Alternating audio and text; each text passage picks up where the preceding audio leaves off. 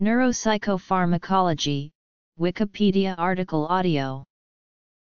Neuropsychopharmacology, an interdisciplinary science related to psychopharmacology and fundamental neuroscience, is the study of the neural mechanisms that drugs act upon to influence behavior.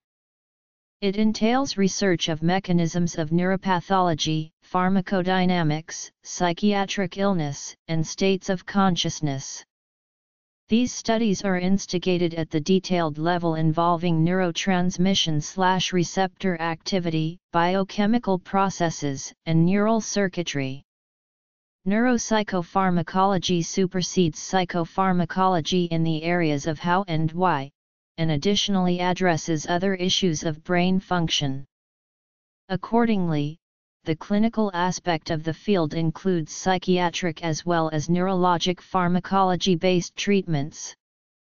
Developments in neuropsychopharmacology may directly impact the studies of anxiety disorders, affective disorders, psychotic disorders, degenerative disorders, eating behavior, and sleep behavior.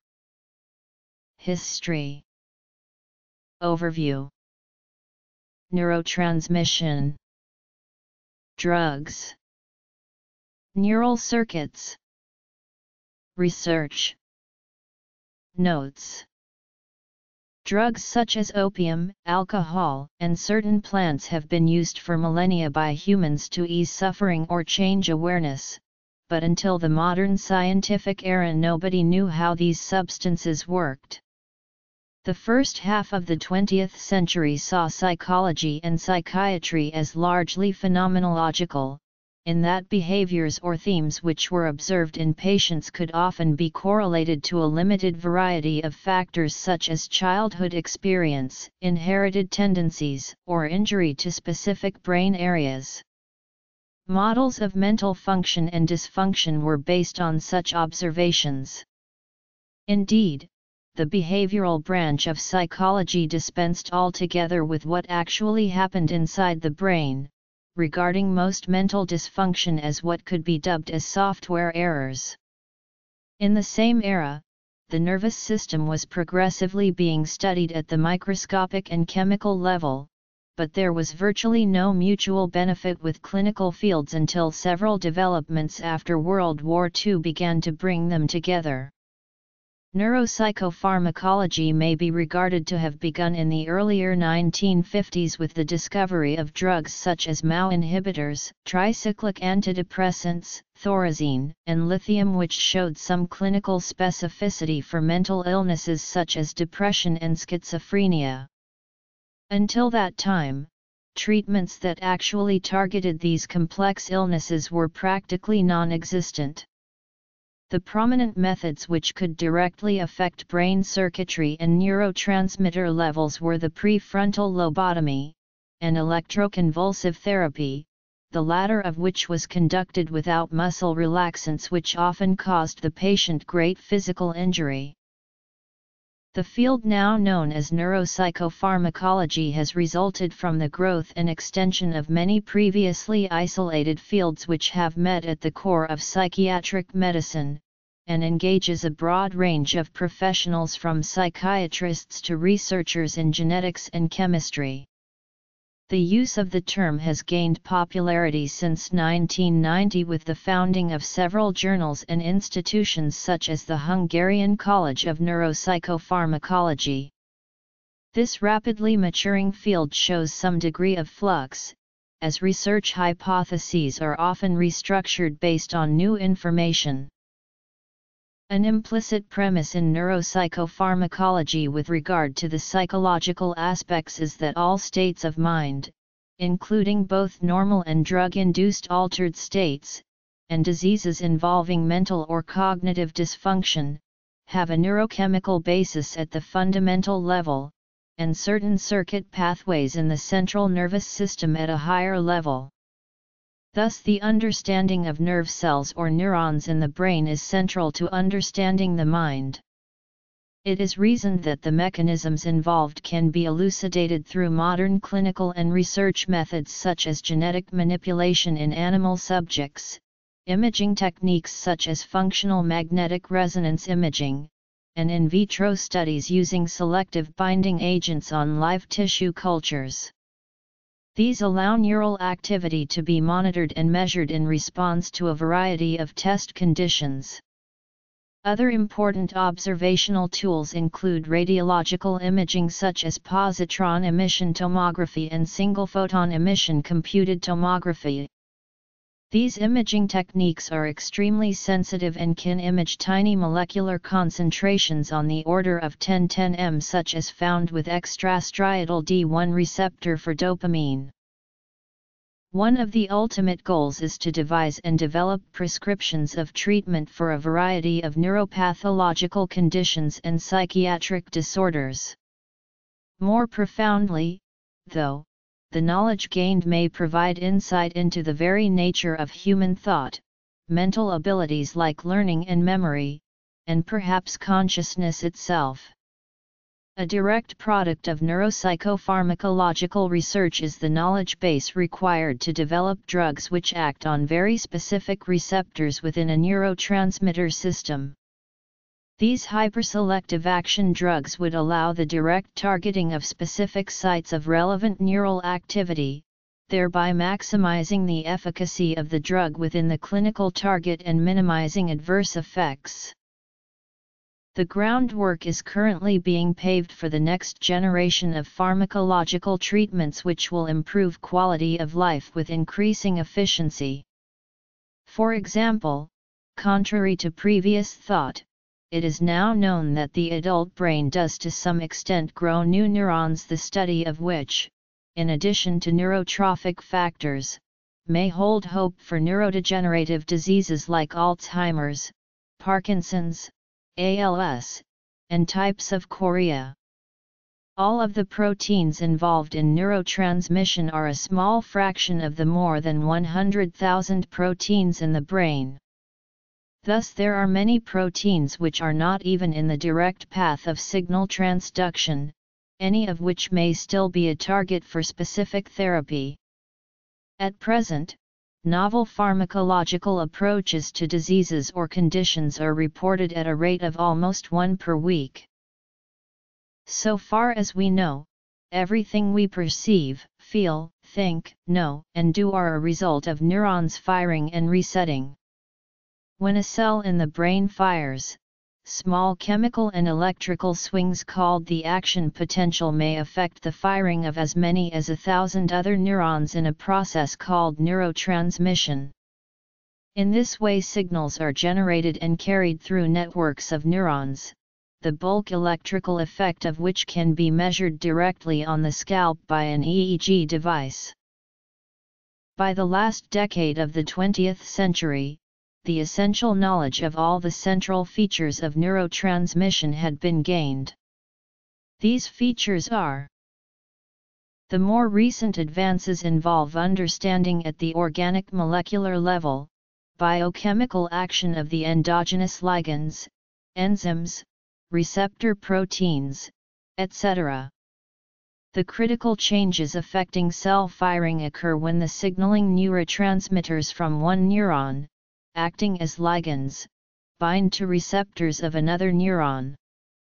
Many neurotransmitter systems and receptors are well known, and research continues toward the identification and characterization of a large number of very specific subtypes of receptors. For the six more important neurotransmitters GLU, GABA, ACH, NE, DA, and 5-HT there are at least 29 major subtypes of receptor. Further sub-subtypes exist together with variants, totaling in the hundreds for just these six transmitters. It is often found that receptor subtypes have differentiated function, which in principle opens up the possibility of refined intentional control over brain function. It has previously been known that ultimate control over the membrane voltage or potential of a nerve cell, and thus the firing of the cell, resides with the transmembrane ion channels which control the membrane currents via the ions K+, Na+, and Ca+, and of lesser importance Mg++ and Cl.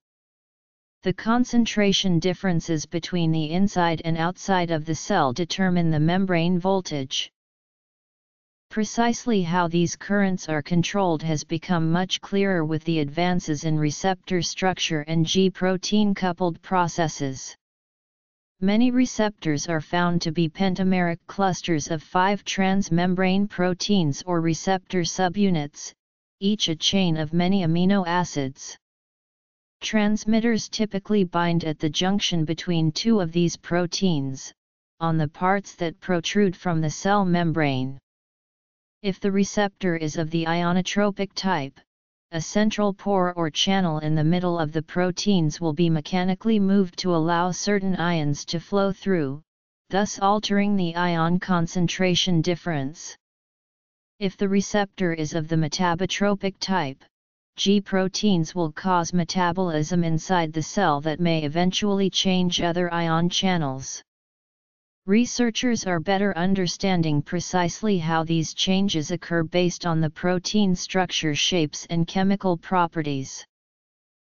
The scope of this activity has been stretched even further to the very blueprint of life since the clarification of the mechanism underlying gene transcription. The synthesis of cellular proteins from nuclear DNA has the same fundamental machinery for all cells, the exploration of which now has a firm basis thanks to the Human Genome Project which has enumerated the entire human DNA sequence, although many of the estimated 35,000 genes remain to be identified. The complete neurotransmission process extends to the genetic level. Gene expression determines protein structures through type II RNA polymerase. So enzymes which synthesize or break down neurotransmitters, receptors, and ion channels are each made from mRNA via the DNA transcription of their respective gene or genes. But neurotransmission, in addition to controlling ion channels either directly or otherwise through metabotropic processes, also actually modulates gene expression. This is most prominently achieved through modification of the transcription initiation process by a variety of transcription factors produced from receptor activity. Aside from the important pharmacological possibilities of gene expression pathways, the correspondence of a gene with its protein allows the important analytical tool of gene knockout. Living specimens can be created using homolog recombination in which a specific gene cannot be expressed. The organism will then be deficient in the associated protein which may be a specific receptor. This method avoids chemical blockade which can produce confusing or ambiguous secondary effects so that the effects of a lack of receptor can be studied in a purer sense.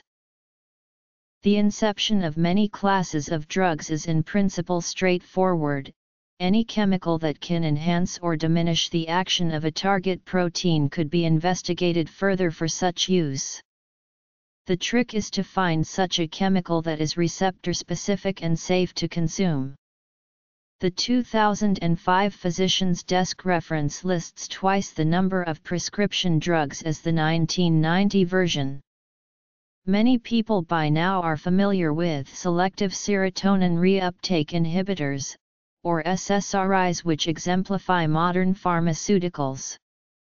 These SSRI antidepressant drugs, such as Paxil and Prozac, selectively and therefore primarily inhibit the transport of serotonin which prolongs the activity in the synapse. There are numerous categories of selective drugs, and transport blockage is only one mode of action. The FDA has approved drugs which selectively act on each of the major neurotransmitters such as NE reuptake inhibitor antidepressants, DA blocker antipsychotics, and GABA agonist tranquilizers. New endogenous chemicals are continually identified. Specific receptors have been found for the drugs THC and GHB, with endogenous transmitters anandamide and GHB. Another recent major discovery occurred in 1999 when orexin, or hypocretin, was found to have a role in arousal, since the lack of orexin receptors mirrors the condition of narcolepsy. Orexin agonism may explain the anti-narcoleptic action of the drug modafinil which was already being used only a year prior. The next step, which major pharmaceutical companies are currently working hard to develop, are receptor subtype specific drugs and other specific agents. An example is the push for better anti-anxiety agents based on GABA-A agonists, CRF1 blockers, and 5-HT2C blockers. Another is the proposal of new routes of exploration for antipsychotics such as glycine reuptake inhibitors. Although the capabilities exist for receptor-specific drugs, a shortcoming of drug therapy is the lack of ability to provide anatomical specificity. By altering receptor function in one part of the brain, abnormal activity can be induced in other parts of the brain due to the same type of receptor changes. A common example is the effect of D2 altering drugs which can help schizophrenia, but cause a variety of dyskinesias by their action on motor cortex.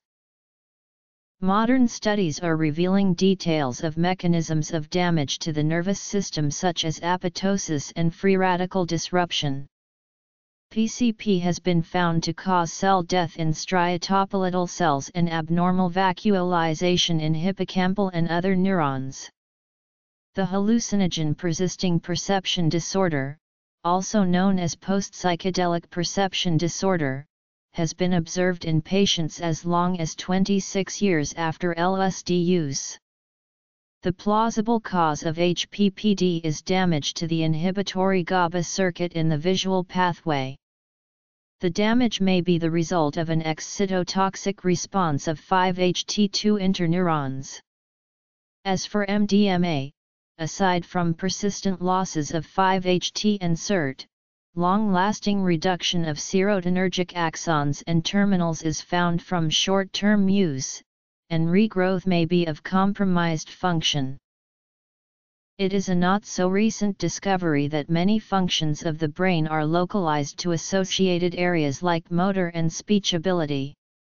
Functional associations of brain anatomy are now being complemented with clinical, behavioral, and genetic correlates of receptor action, completing the knowledge of neural signaling. The signal paths of neurons are hyper-organized beyond the cellular scale into often complex neural circuit pathways. Knowledge of these pathways is perhaps the easiest to interpret, being most recognizable from a systems analysis point of view, as may be seen in the following abstracts. Progress has been made on central mechanisms of hallucination believed to be common to psychedelic drugs and psychosis. It is likely the effect of partial agonistic action on the serotonin system. The 5-HT2A receptor and possibly the 5-HT1C are involved by releasing glutamate in the frontal cortex, while simultaneously in the locus coeruleus sensory information is promoted and spontaneous activity decreases. One hypothesis suggests that in the frontal cortex, 5-HT2A promotes late asynchronous excitatory postsynaptic potentials, a process antagonized by serotonin itself through 5-HT1 which may explain why SSRIs and other serotonin-affecting drugs do not normally cause a patient to hallucinate. Circadian rhythm, or sleep/slash wake cycling, is centered in the suprachiasmatic nucleus within the hypothalamus, and is marked by melatonin levels 2000 to 4000% higher during sleep than in the day. A circuit is known to start with melanopsin cells in the eye which stimulate the SCN through glutamate neurons of the hypothalamic tract.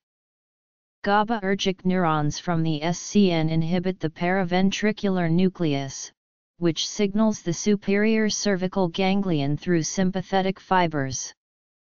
The output of the SCG, stimulates NE receptors in the pineal gland which produces N-acetyltransferase, causing production of melatonin from serotonin. Inhibitory melatonin receptors in the SCN then provide a positive feedback pathway. Therefore, light inhibits the production of melatonin which entrains the 24-hour cycle of SCN activity. The SCN also receives signals from other parts of the brain, and its 24-hour cycle does not only depend on light patterns. In fact, section tissue from the SCN will exhibit daily cycle in vitro for many days. Additionally, the basal nucleus provides GABAergic inhibitory input to the preoptic anterior hypothalamus. When adenosine builds up from the metabolism of ADP throughout the day, it binds to adenosine receptors, inhibiting the basal nucleus. The PA is then activated, generating slow-wave sleep activity. Caffeine is known to block adenosine receptors, thereby inhibiting sleep among other things. Research in neuropsychopharmacology comes from a wide range of activities in neuroscience and clinical research. This has motivated organizations such as the American College of Neuropsychopharmacology, the European College of Neuropsychopharmacology, and the Collegium Internationale Neuropsychopharmacologicum to be established as a measure of focus. The ECNP publishes European Neuropsychopharmacology, and as part of the Reed Elsevier Group, the ACNP publishes the journal Neuropsychopharmacology, and the CINP publishes the journal International Journal of Neuropsychopharmacology with Cambridge University Press. In 2002, the most recent comprehensive collected work of the ACNP, Neuropsychopharmacology, the fifth generation of progress was compiled. It is one measure of the current state of knowledge, and might be said to represent a landmark in the century-long goal to establish the basic neurobiological principles which govern the actions of the brain. Many other journals exist which contain relevant information such as neuroscience. Some of them are listed at Brown University Library. The synthesis and storage of neurotransmitter substances, the transport of synaptic vesicles and subsequent release into the synapse, receptor activation and cascade function, transport mechanisms and slash or enzyme degradation.